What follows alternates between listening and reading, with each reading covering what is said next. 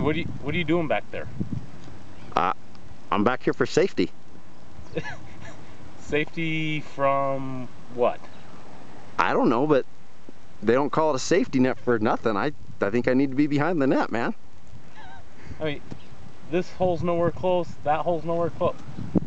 I, I have no idea what you need safety from. Well, tell you what, you just hit your ball. I don't know. I'm just going to err on the safe side. I'm staying behind the safety net. So, yeah, hit away. All right, whatever. I'll get your swing.